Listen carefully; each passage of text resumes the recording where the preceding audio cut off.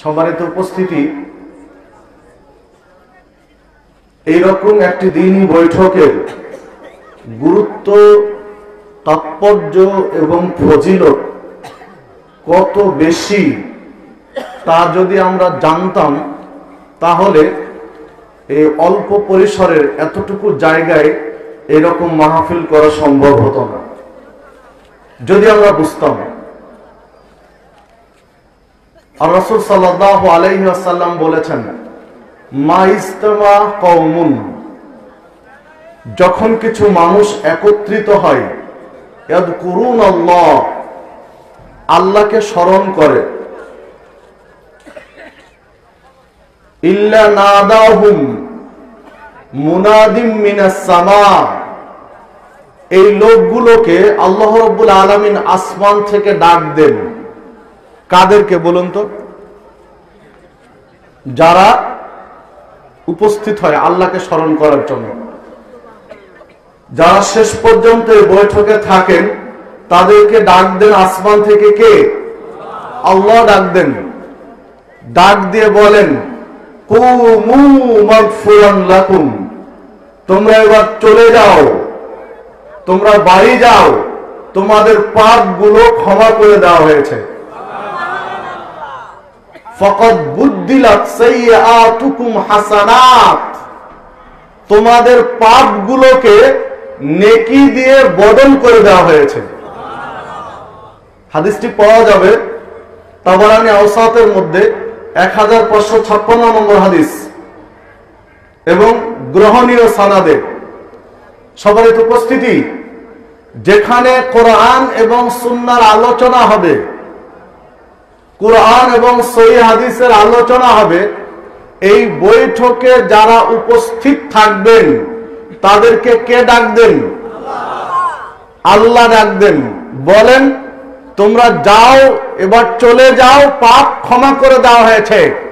পাপ ক্ষমা করার মালিক কে? আর ডাক দেন কে?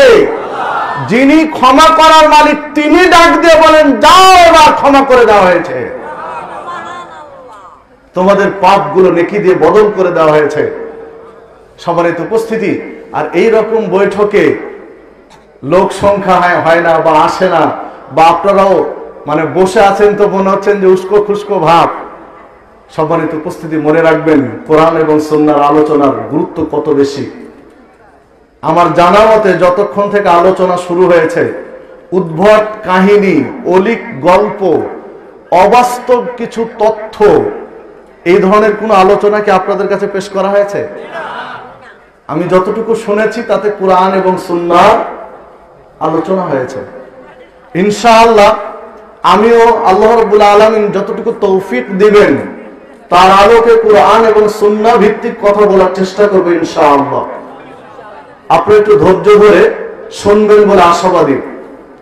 পাশাপাশি যারা দাঁড়িয়ে আছেন, জায়গা আছে যেহেতু, তাদেরকে বসে যাওয়ার জন্য বিশেষভাবে আহ্বান জানাচ্ছি, যারা রাস্তাঘাটে ঘোরাফেরা করছেন, তাদের দৃষ্টি আকর্ষণ করছে। আসুন আপনার এই মূল্যবান সময়টুকু দিনই কাজে ব্যয় করুন। সহি বুখারিতে একটি হাদিস বর্ণিত হয়েছে, আল্লাহ রাসূল বলছেন, লাগুদুয়াতুন ফি সাবিলিল্লাহ ওয়াহা, খায়রুম মিনাদ দুনিয়া ওয়া ফিহা। আল্লাহর সন্তুষ্টির জন্য আল্লাহর রাস্তায় কেউ যদি একটি সকাল বা একটি সন্ধ্যা ব্যয় করে সকাল, সন্ধ্যা, দিনে বা রাত্রের কিছু অংশ স্রেফ আল্লাহর সন্তুষ্টির জন্য যদি কেউ ব্যয় করে, দুনিয়া এবং দুনিয়ার ভিতরে যা কিছু রয়েছে, পৃথিবী এবং পৃথিবীর মাঝে যা কিছু রয়েছে, সব কিছু বিক্রি করে দেওয়া দিলেও এই সময়টুকুর মূল্য হবে না। হাদিস সহি বুখারের, যেখানে সন্দেহের কোনো অবকাশ নেই। এ হাদিস যখন বিশ্লেষণ করি এই হাদিস নিয়ে যখন ভাবি, তখন মনে হয় এই হাদিস যদি মুসলিমরা বুঝতেন এই হাদিসরা এই হাদিসটি যদি মুসলিম ব্যবসায়ীরা বুঝতেন, দোকানদাররা বুঝতেন, ইসলামী মাহফিলকে কেন্দ্র করে কেউ দোকান দিতেন না। কারণ তাদেরও পরকালে বাঁচা প্রয়োজন। কারণ নিজে ব্যবসা করে কিছু ইনকাম করার পাশাপাশি বহু মানুষকে এই রকম আলোচনা থেকে বঞ্চিত করার ব্যবস্থা করে দিয়েছেন। কারণ তারও বাঁচার দরকার নয়।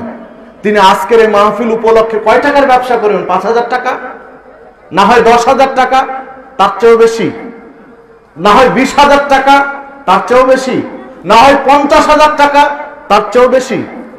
কিন্তু তিনি যদি ওই ব্যবসায় না জড়িয়ে দিনী বৈঠকে উপস্থিত থাকতেন তাহলে আল্লাহ সুসাল্লাম বলছেন, যদি অন্তর খালেস হয়, খুলুসিয়াত যদি ঠিক থাকে